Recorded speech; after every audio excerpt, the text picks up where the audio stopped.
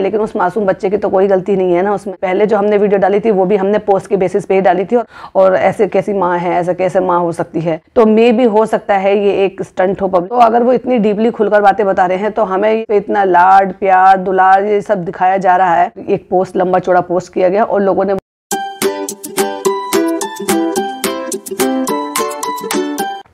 hi friends welcome back to my channel तो जैसे कि हमने कल एक वीडियो पोस्ट किया था दीपिका मैम के बारे में, आज भी हम उसी टॉपिक पर बात करने वाले हैं। तो वो वीडियो क्या था, हम आपको बता दें, जो हमारे नए व्यूवर्स हैं, वो वीडियो ये था कि रेडिट पर किसी ने पोस्ट किया था आकर, और ये वहाँ पर एक पूरी लंबी सी चिट्ठी सी एक लिखी थी, और उसमें ये सब बताया था कि रौनक सैमसंग हैं, उनकी मदर जहाँ पर रहती हैं पुणे में, वहीं मेरी मदर भी रहती हैं और मेरी मदर और उनकी मदर नेबर हैं और फ्रेंड्स भी हैं तो उनकी वजह से ही हमें पता चला था और जब से इनका बेबी का फेस रिवील हुआ है, तब से मेरी मदर ने मुझे ये सारी बातें बताई है। सो मुझे बहुत बुरा लगा कि एक बच्चे को इतना ज़्यादा प्यार दुलार दिखाया जा रहा है और तीस लाख लोगों की फैमिली के सामने आप दिखा रहे हैं और एक बेबी को इस तरह से ऐसे छोड़ दिया, वो भी जब जब उसके हेल्थ इशू थे। तो वो था हमारा एक वीडियो, आज भी जो हम बात करेंगे तो उसी वीडियो के रिगार्डिंग बात करेंगे। तो वो जो रेडिट की पोस्ट थी, वो वहाँ से बाईस तारीख को वो अकाउंट बनाया गया और एक पोस्ट, लंबा चौड़ा पोस्ट किया गया और लोगों ने वहाँ पर अनगिनत सवाल किए, अनगिनत उन्होंने रिप्लाई भी किए। और उसके बाद नेक्स्ट डे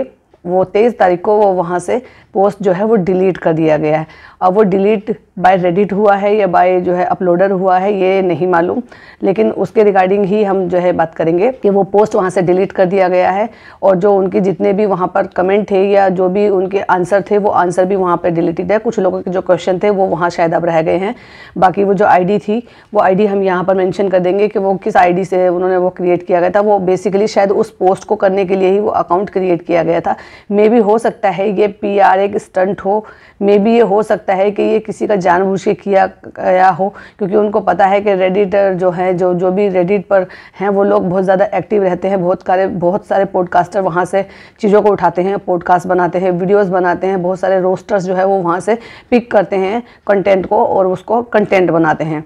सो so, अब वो हटा दिया गया है और उसकी जगह पे वहाँ पर एक नया पोस्ट किया गया है कि मैंने तो ये सब एक हलचल किया था और एक ये प्रैंक किया था एक तरीके से। अब वो प्रैंक था या क्या था ये तो भाई ऊपर वाला बहता जाने या फिर वो करने वाला बहता जाने कि वो बाद में डर गए और पीछे हट गए या फिर क्या रीज़न था क्या रीज़न नहीं था लेकिन अगर ऐसा था तो बहुत ही ज़्यादा गलत था और अगर है तो बहुत ही बहुत ही ज़्यादा गलत है कि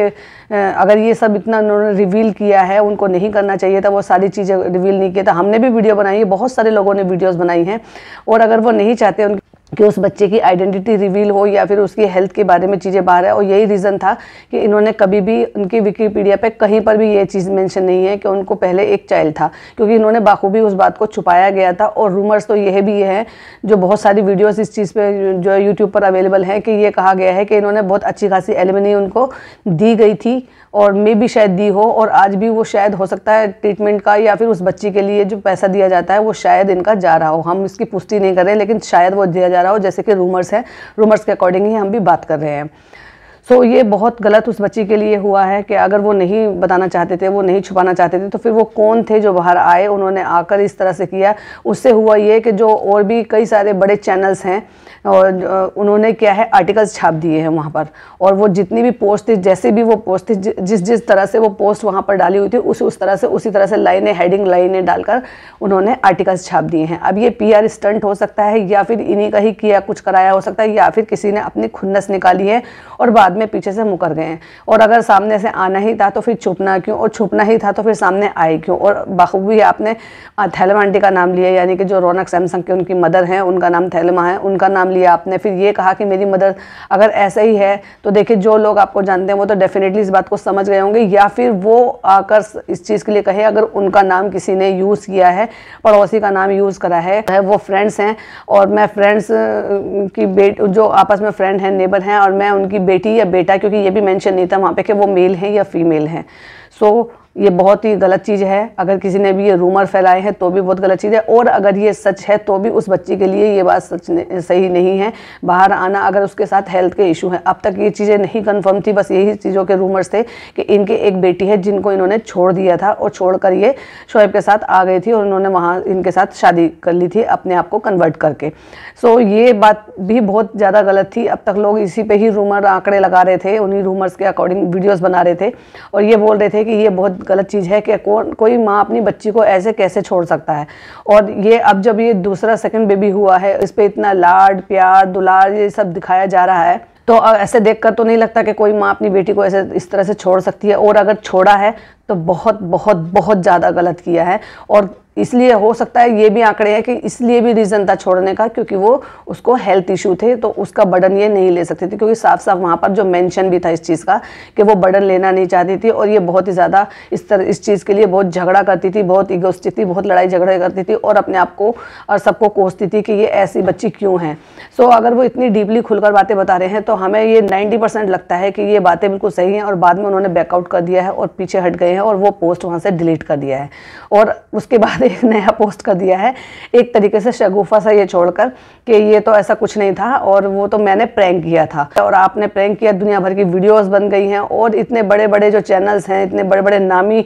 ग्रामी जो चैनल्स हैं, उन्होंने सबने आर्टिकल्स बनाकर छाप दिए। तो मे भी हो सकता है ये एक स्टंट हो पब्लिसिटी ये हो सकता है रूमर फैलाने का हो हो सकता है, सच हो। क्या है हम नहीं कह सकते लेकिन जो भी हुआ वो मेरे हिसाब से अब ये जानने के बाद बहुत बुरा लग रहा है कि ये बहुत ही ज़्यादा गलत है क्योंकि पहले बुरा इसलिए लग रहा था कि बेटी को ऐसी कंडीशन में छोड़ दिया। एक बेटी को एक लड़की को एक माँ की कितनी ज़्यादा ज़रूरत होती है ये मैं समझ सकती हूँ। सो so, एक बेटी को जब वो ग्रो करती है या वो बड़ी हो रही होती है, ऊपर से अगर वो हेल्थ इशू के साथ चलते हुए है तो तब तो और भी ज़्यादा एक माँ की ज़रूरत होती है। तो ये बहुत ज़्यादा गलत है और मुझे सोच कर बहुत ज़्यादा बुरा लग रहा था इस चीज़ के लिए। लेकिन अगर ये पॉइंट ऑफ़ व्यू से देखा जाए तो क्यों वो बंदा या बंदी जो भी है, वो सामने आए? क्यों इस बात को दबे ही रहने देते थे? अगर उन्होंने बखूबी इस बात को छुपाया हुआ था और उन्होंने साफ़ साफ़ इस बात को मैंशन भी किया था कि जो बच्ची के जो फादर है, वो इस बात को सामने नहीं लाना चाहते क्योंकि बच्ची की हेल्थ इशू है। तो ये भी बिल्कुल उनका सही तरीका था। देखिए, अगर वो ख़राब होते या कोई भी चीज़ होते तो जितनी आज ये सक्सेस पर हैं, जो ये अच्छे तरीके से ज़िंदगी जी रहे हैं, उस बात को अगर वो चाहते और उनको भी इस चीज़ का बुरा लगता तो वो शायद आकर एलिगेशंस लगा सकते थे और सामने आ सकते थे। लेकिन वो, मुझे नहीं लगता कि वो इस टाइप के लोग हैं, वो सीधे साधे से लोग हैं और अच्छी शांति के साथ अपनी ज़िंदगी बसर कर रहे हैं। उनकी बच्ची भी, जो उनके अकॉर्डिंग बताया गया, जो इन्फॉर्मेशन दी गई है, उसके अकॉर्डिंग वो एक अच्छे इंस्टीट्यूट में जहाँ उसका ट्रीटमेंट चल रहा है तो उसको गुप्त ही रहने देना चाहिए था। इतनी भी फ्रस्ट्रेशन किस काम की थी कि आप आए सामने, या तो फिर आपको पोस्ट डिलीट नहीं करते, अपनी ही बात पर लगे रहते। लेकिन इतनी अफरा तफरी मच गई है यूट्यूब पर, इतनी सारी वीडियोस वायरल हो गई हैं कि फ़ीड में बस एक ही टाइटल नज़र आ रहा है, माँ ने छोड़ दिया बेटी को छोड़ दिया, जवाब दो रिप्लाई दो, और ऐसे कैसी माँ है, ऐसे कैसे माँ हो सकती है। सो सच क्या है और झूठ क्या है कि ये तो ऊपर वाला बेहतर जानता है, या वो पोस्ट करने वाला बेहतर जानता है कि वो सही बोल रहा था, या गलत बोल रहा था, या फिर रूमर फैलाने के लिए आया था, या फिर वो मदर अच्छे से सच जानती हैं, जो चुप्पी लगाकर बैठी हैं। अब वो चुप्पी हुआ है, वो सही वाली चुप्पी है या वो गलत वाली चुप्पी है, ये तो हम आपके ऊपर छोड़ते हैं। वीडियो, में इसी, बस यही वीडियो आज मेरे को आपके साथ शेयर करनी थी, क्योंकि बुरा लग रहा था तो मैंने सोचा आपके साथ ये शेयर किया जाए कि इस तरह का जो पोस्ट था, क्योंकि पहले जो हमने वीडियो डाली थी, वो भी हमने पोस्ट के बेसिस पे ही डाली थी, और आज की जो वीडियो बना रही हूँ, वो भी मैं उस पोस्ट के बेसिस पे ही बना रही हूँ, जो पोस्ट वहाँ पर किया गया और रिमूव करके दूसरा पोस्ट वहाँ पर कर दिया गया है। उससे और पीआर टीम एक्टिव हो गई है, और और भी ज़्यादा उससे आर्टिकल्स छपने लगे हैं, वो आर्टिकल्स सही है, नहीं है, उन्होंने भी क्रेडिट रेडिट को ही दिया है। एक चीज़ और हाँ